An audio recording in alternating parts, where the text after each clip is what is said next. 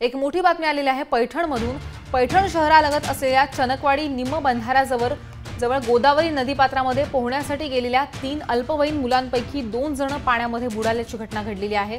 त्यामधील एकाचा जीव वाचलेला आहे तर दुसरा मात्र गोदावरीच्या प्रवाहामध्ये वाहून गेलाय. फैसल फिरोज शेख असे ह्या पाण्यामध्ये बुडालेल्या मुलाचं नाव आहे. या घटनेमुळे सध्या परिसरामध्ये हळहळ व्यक्त होतीये.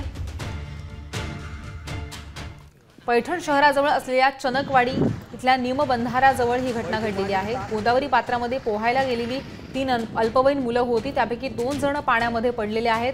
त्यातील एकाचा जीव वाचला आहे तर दुसरा या गोदावरीच्या प्रवाहामध्ये वाहून गेलेला आहे. फैजल फेरोज शेख असे ह्या पाण्यामध्ये बुडालेल्या मुलाचं नाव आहे.